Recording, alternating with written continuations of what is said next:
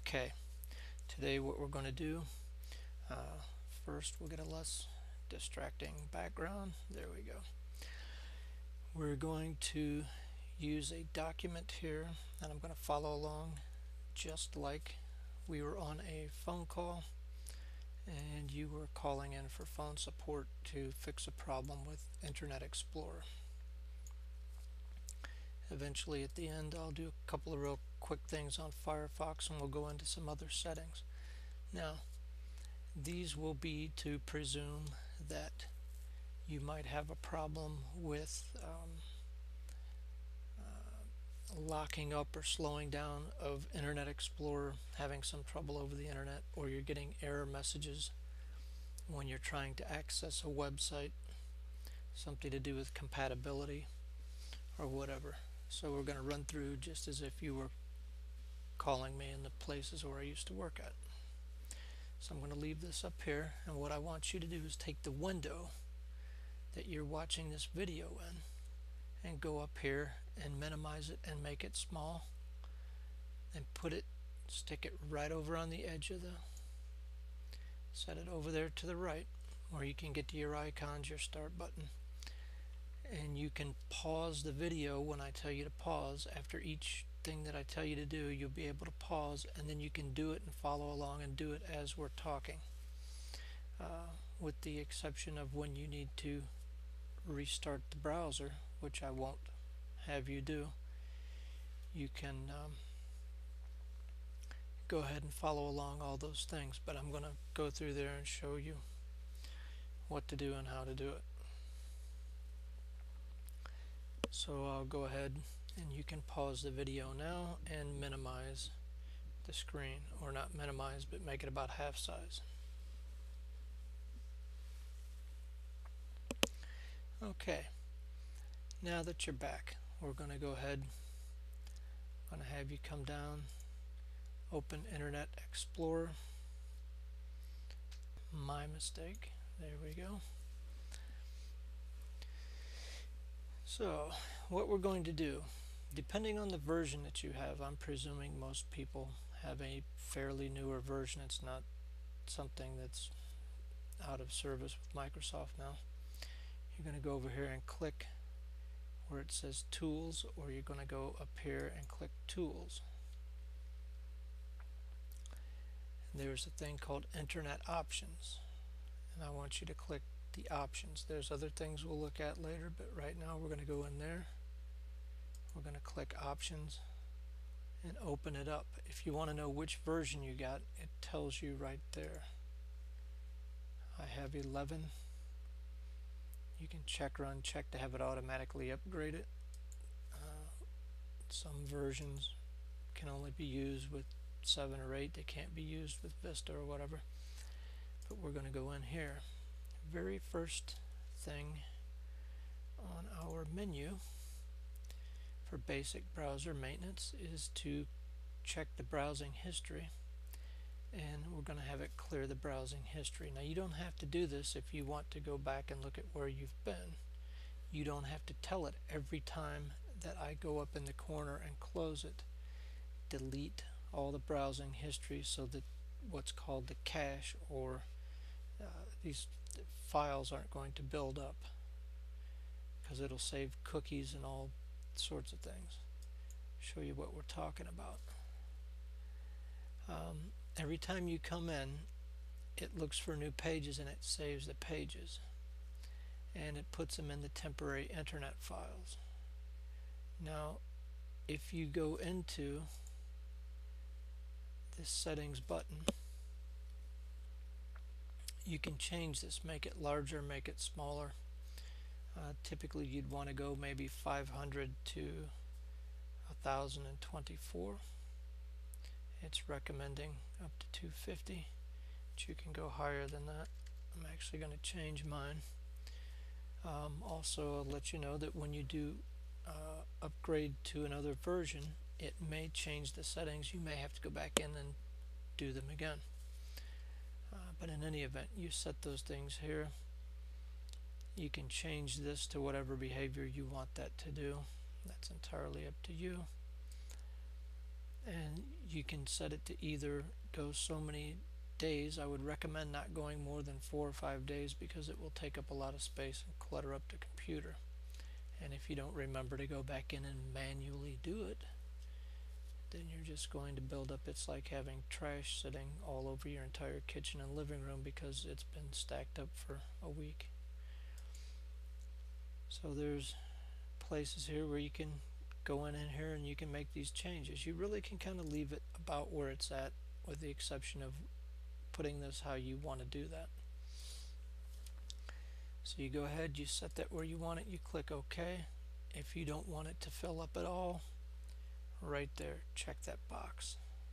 Now we want to clear it out. First thing somebody's going to tell you to do is click open up to here and click delete. Now, it's up to you. If you save the passwords and you want it to save them, which I don't necessarily recommend, I have recommended elsewhere that you find a way to save them, put them somewhere else safer, then you can uncheck that. But that's entirely up to you. Um, whether you want it to fill forms out automatically with your information, you can check or uncheck that. That's up to you. But you, at the bare minimum, you need to get rid of the internet files and the cookies and the, the uh, histories. You can change any of the rest of these that you want to.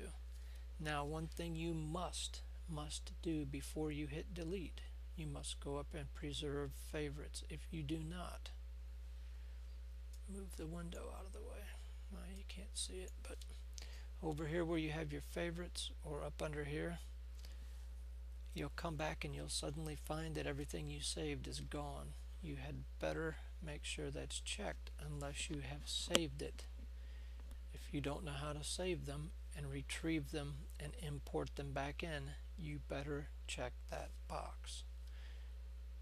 I'm going to go ahead and click delete and I'm going to tell you you can go ahead and pause the video here and do that and then come back. Now that you've deleted the security tab over here You have a setting for internet. You need to be bare minimum at medium high or if you're kind of paranoid, nothing wrong with that. You can set it up there. You'll get a few more times that you're going to get uh, pop-up messages. Also, you might want to click enable protected mode. Now we're not going to restart Explorer. We're not going to close it and restart right away but it will require you to restart to get that to work. In fact, at the end of setting it, it's a good idea to do that anyhow. But check enabled, have it at least medium to high. Don't worry about that one. Over here on trusted sites, you can actually go in and tell it which things you want it, you know, your web provider, your home page, your uh, video audio card manufacturer you can add those in here.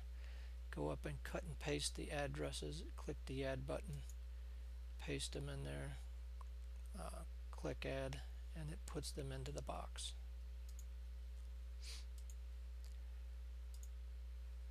okay this one here this would uh, should be set up a little bit higher to prevent damage from things that would attack your computer. You can manually set that if you want to. You don't have to. A lot of times messages will come up and you can simply click OK to put them in this area. Once again, we're using protected mode as we did back here. So you can go ahead and click pause. You can click apply and pause your machine and I'll let you catch up with that. Now that you're back, we're going to go to privacy a big, big deal for many people here. Pop-up blocker. A lot of places will ask you to turn it off. Go ahead and check it. You can go here to the settings link and you can go in here and tell it. The address of the ones that you do not want or the pardon me the ones that you do want to pop up. You can block all the other ones but if you absolutely need it for your account at LinkedIn whatever it is you go in here you add it set it in there you can remove it later. Uh, if you want it to, to ping when it does that you check the box or get a notification. Now you can also set the pop-up blocker anywhere from low to high. How many you know how do you want it to do this? Again you click close and you click apply. We're not going to do that quite yet.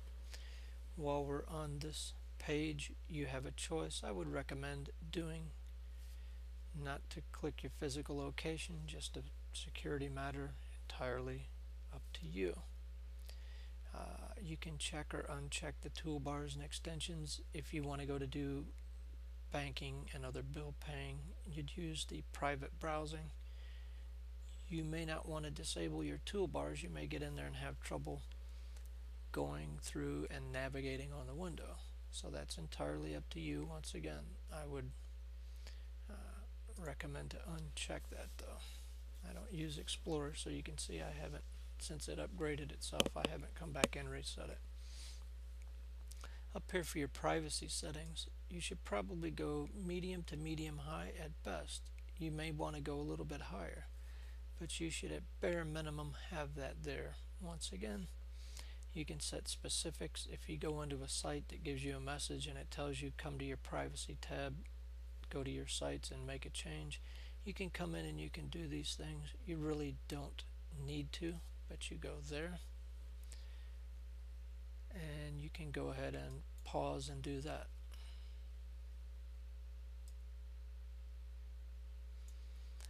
So let's check and make sure we've gone through and without missing anything the other thing I will want to go back and check over here we don't have the pull down so we don't have to worry about that. We're going to skip this button just go beyond that. We don't need to do this it should be already set up and connecting to the internet unless you have virtual private network where you work.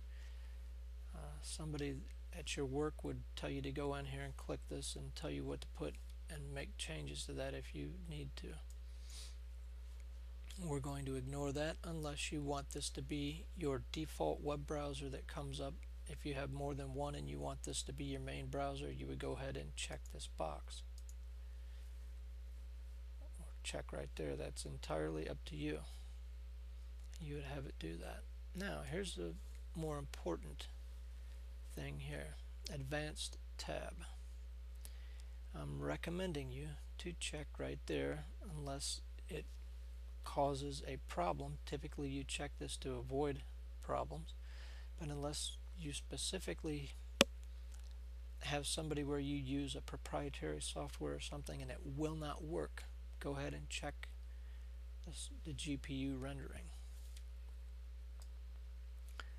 Go ahead and come down here. Come on down. Make sure you tell it to use the HTTP. Keep going further down. You can go in here once again under security, tell it to empty the temporary internet files if you want it to when you close the browser. You can tell it to use enhanced protected mode, which we did before, where you can check it there. That makes it a little bit it adds another feature too. I'm not sure exactly what they are. But here's what we want to look at. Right here, if you have not got this higher version, haven't got that checked, I recommend you check that and the TLS 1.2. Make sure you have those newer, the newest versions that are listed in your window. Like I say, this window might be mildly different for you. Make sure you get that checked. Go down here and apply them. What I'm not going to have you do right now is to restart the browser.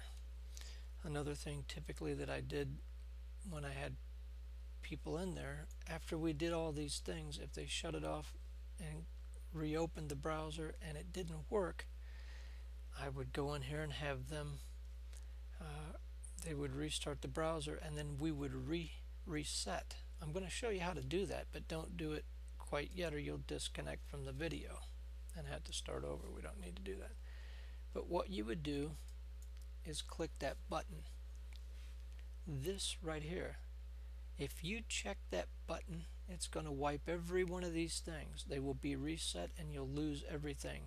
Home pages, search providers, uh, ActiveX filtering, tracking, passwords, all these things that you've saved, uh, all your shortcuts, all that stuff, it's going to wipe the settings and you're going to have to go back, restart, and redo all of them. Now, on a troubleshooting call, maybe it didn't work the first time. We have to have you do this and then go back and walk through all those steps that we just did. We would do that, but you would re you would uncheck that you would click reset and it would make you restart the computer or rather it would restart Internet Explorer but it may ask you to restart the computer also to write things in the registry. We're not going to do any of that. We've walked all the way through here and I've had you set each one of these tabs. If you want you can go in here and change the way Internet Explorer looks. You can do all of these goofy little things in here you want to do. Once again that's you know entirely up to you what you want to do. But we're not going to walk through all that. I'm just going to have it cancel for now. Later on after the video you can go up and um, click the buttons and restart it and do your do your thing there. So we've walked through, we went through all of the restarting the browser. Now, if you're on a laptop, you go into the power options. I don't have a laptop, but I'm going to show you on the control panel what it will kind of look like. You will see a power options in your control panel on your laptop. You would have uh, these basic power settings however you want. However, if you're having problems with it shutting down while you're doing downloads, while you're doing updates, if you don't want it doing that, you would need to come over here uh, and change these to never. That prevents it from shutting down and cutting off what you're doing, what you're working on, especially if it hasn't been saved and it shuts down, you've just lost all your work. So that's one thing you'd want to do with a laptop is set that up. On your desktop, you don't have to set that that way. And then if you're familiar with what these mean and you want to go in and you want to set them on your desktop or your laptop, that's entirely up to you. But that's how that works. So that's uh, resetting, plugging. We've gone through all of those that's made all of your changes to your Internet Explorer. One other thing that we always advise people, if you're having a connection problem, go in, check your Ethernet cable. That's the one that has, it's like the telephone cable that goes in the wall. It has that sort of, it clicks when you connect and disconnect it into the outlet.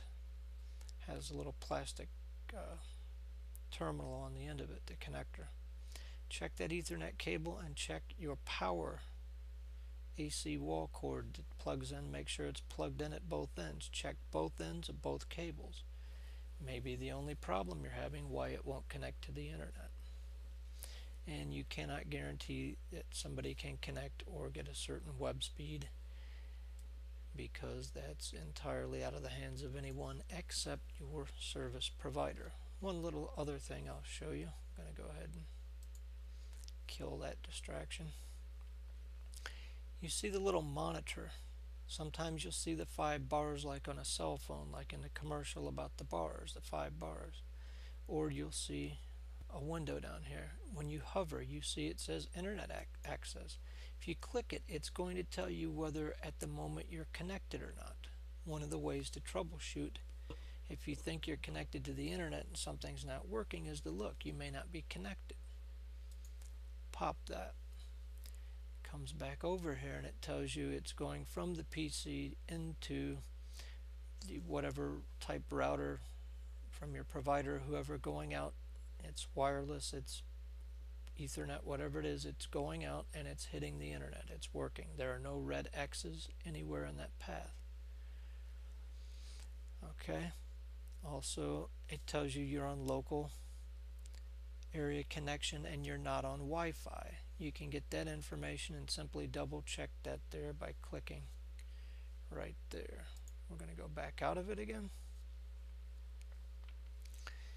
We're going to come back over here and we're going to go to Firefox and I'm going to very quickly show you Firefox. I have a version called Nightly. It's not basic Firefox but it's um, other than the, the theme and the other things it works the same as Firefox. You have these menus along here just like in Internet Explorer. If you don't have these in Firefox or Explorer, you right click up here in a blank in a dead spot up there and you check menu. Any of these that you check or uncheck will begin to appear up there at the top. So you check in there and get your menus if you want those. Otherwise, you have to either come over here. There's going to be, depending on, once again, which version you've got, you're going to have different emblem over there, logo icon. You go over here and you click and you go in and you've got all your settings and so forth are in here. So you can see all that. You can even customize it from there. What we're going to do here is we're going to hit Tools going to go to options. Now, if somebody tells you that one of your add-ons, your plugins, whatever they're calling it, is have maybe having a problem and creating a conflict with your web browser, they're going to have you go to that. That is in here too. Uh, your settings for different applications that you've downloaded, um, third-party things that you've loaded, some of them will be in here. But you're going to go into options. Now, over here you can set what your web page is. Go find your web page, come over, and once you have nothing but the one you want to pop up, you're going to click current page, put it in there. Every time you click the button and it opens up, it'll go to that home page wherever you want it to go. Now, outside of setting where your downloads go, which you don't always want it to automatically do, there's nothing we're going to look at. We're not going to make any changes over here. Uh, other whether to remember websites or not, uh, passwords. Uh, you can check these for security. You can go over here, tell it not to track you. These things are entirely all up to what you want to do with it. The one thing I'm going to show you in order to increase the performance of the web browser when you go to the advanced tab regardless how this looks whatever fashion it takes it's a pull down or whatever it is you're going to go to the advanced tab and then it has all of these other tabs you want to go in here and you're going to tell it to save however much uh, you want it however large you want it to save and as I told you before it'll say anywhere from 50 to 500 to 1024 and it may not go any higher than that. I've changed mine and told it to do that. But here's how you clear it out. You see it says one one gigabyte. It's, it's eating all that up. So it's full. We're going to go ahead and clean it. Now if you click off of it, see that it didn't change but if you click it again it's cleaned it all out. Uh, connection settings like I said with Internet Explorer you really don't need to bother with that. Don't need to bother with any of these other things. So that's the very very quick version. There's a whole lot of things you can do going up into here and using what are called command lines to make this run faster I'm not even going to go bother going into that. So there's your options how to do that and uh, clear up some of your performance issues there. Then you can also go in and you can clean out your bookmarks and do other things. Um, I well I'm really not going to show you anything else in Firefox. Most people that use it it either works or they go into the Firefox help and they get that done so we're going to go out of go out of that and move on to other things okay so We've done Firefox, user account controls. You may be getting a message about the user account control or somebody telling you there's a conflict with downloading, updating because you have your account control turned on or turned off.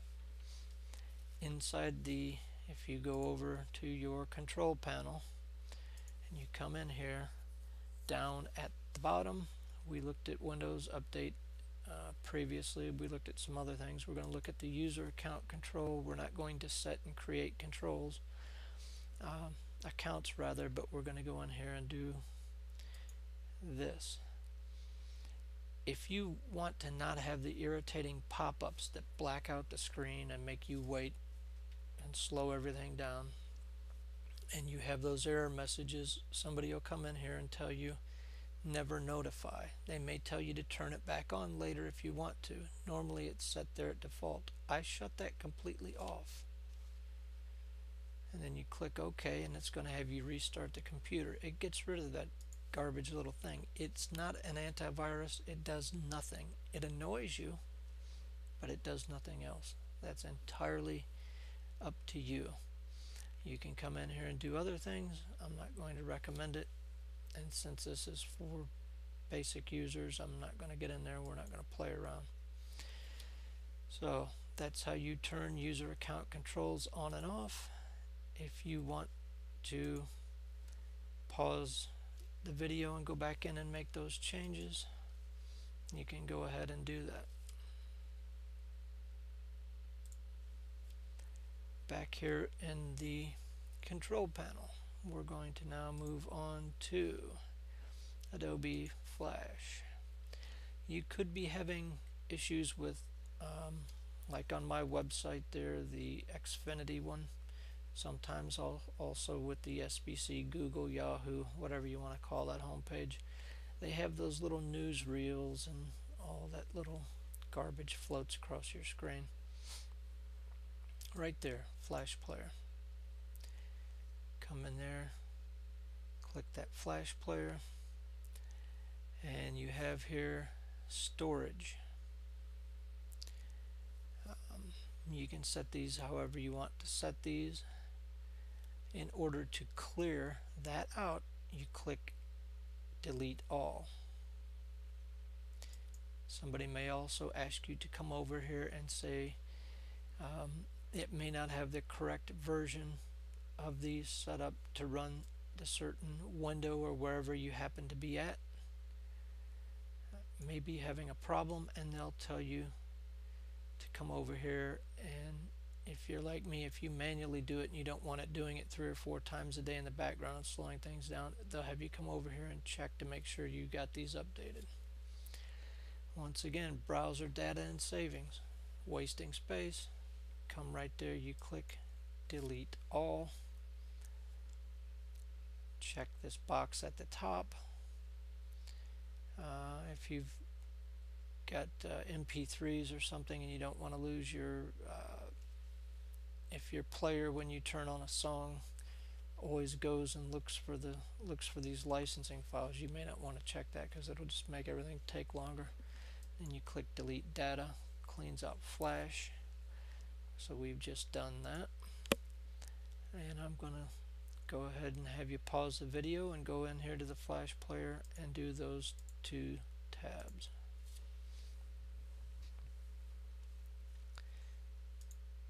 Now we're up to Java. Double click it, has its own control panel. It eventually comes up. The two things they're usually going to do when you call in someplace if you need to update or not, they're going to have you do it. A lot of times it runs many times a day, as I said. I uncheck it and manually go do it. You may not want to do that. You may want to do that. Otherwise, they may have you go in, check your version, tell you that it's an old version, and they want you to update it. they'll tell you to come over here. And these tabs also once again they depend on which version you have. The tabs and the settings under the tabs differ. So they may have you go update from here and then they might also want you to come over once again temporary internet files. They'll have you come over here click on it. They'll tell you whether they needing needing it to save or not to save. They'll tell you where they want to set that if they do or don't want you to. They'll give you settings here. Once they give you the settings they'll tell you to delete the files. You'll go ahead you'll do that. You'll clear the Java out clearing those two things clearing your cache on your Internet Explorer or Firefox those three things right there will improve the speed of loading pages and navigating on the internet and they affect other programs occasionally too there will be other things they'll come in here and ask you to do. Set whether you want Java to be used with Explorer or the Mozilla family, that's Opera, Firefox, and all the other. Usually you don't do too many other things in here. Sometimes there's a thing in here about automatically updating. Um, they'll have you check or uncheck that. There's other things that are in here depending on the version. So it depends on what your issue is and what what you're who you're calling. Again, try to make sure you have the latest versions of those checked so that it is as secure as you can make that. Click your apply button, click OK, move out of there and pause the video. Now that you've went in and checked your Java, we're going to go over if you've got QuickTime. I also don't have real time in here, but QuickTime, real time, DivX, any of these other things like that that you have that play uh, audio files, video files. You come in here, you can make all any number of kinds of settings to improve those. Um, you can set it for what you want to do inside of a browser, Internet Explorer or Firefox. How is it going to pop up and play?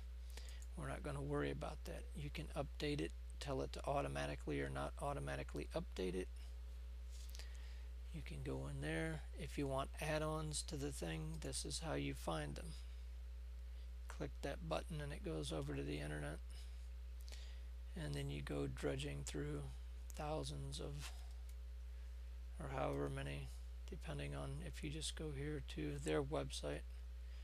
They've only got a few. Or you can go some other third party and they have billions of them. Uh, we're not going to go through any of that. The advanced tab once again set your cache size. You may not want it to be terribly big.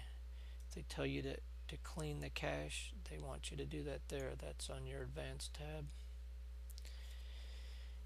and other less significant things right there uh, but if it's a video specific problem specific to that Apple player they'll come in and have you do other things there. But in any event, that's where you find it, how you open it, how you make your settings.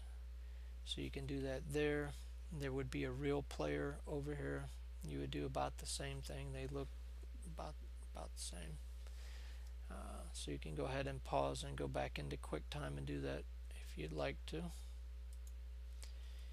Uh, so we did those.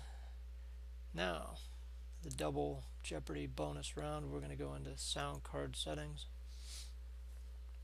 Previously, we went in and I showed you in your sound card how to find your information, and they vary. Yours probably won't look like mine unless you have the specific thing.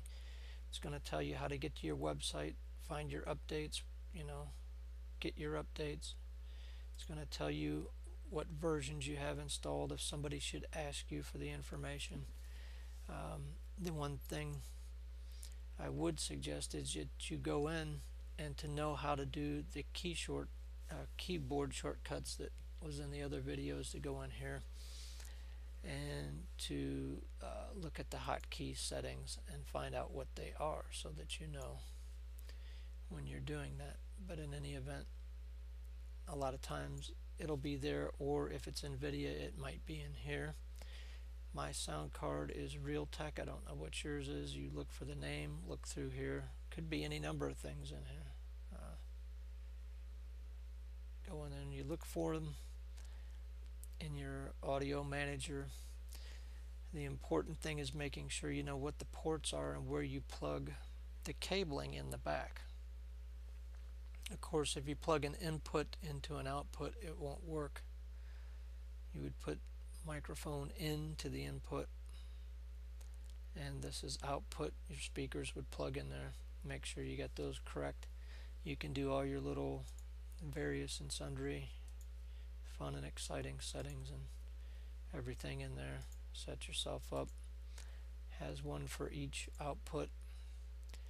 Uh, has other settings in there that's where you find those. You can set your volumes in there. You can set your microphone. Uh, you can do all those settings in there. Um, get your information about your computer and stuff in there. That's where you find all of that is in there. If you have a microphone set up, that will be over here in sound and so that's going to have all your speaker inputs going to have any of your other recording inputs. Uh, it's going to have your system sounds in there and all this other. So that's how you find all those and you configure those things. You come in here to do that. So basically you've now walked through and found all of the places and the settings people would have you go into to troubleshoot a problem, particularly that was with um, working on the internet and having a problem uh, running your internet browser and navigating. Uh, also, if you go on uh, one of the separate pages from the videos, there's one called Update Links and Screenshots, and you'll find a place where your flash player, shockwave reader, all these things that you want, your web browsers, your Java, all those things we were just working with, you have your update link to go get all that right there. And you've got some informational pages are in there as well. Um, I don't see the screenshots. Oh, that's because I use the one from my uh, computer, but on the you'll have some screenshots down there as well on the website. So there you have it. That's what you would you can do that before trying to call Geek Squad or Microsoft or whoever. And if you do call them they'll walk you through those things and you'll be familiar with it. Thank you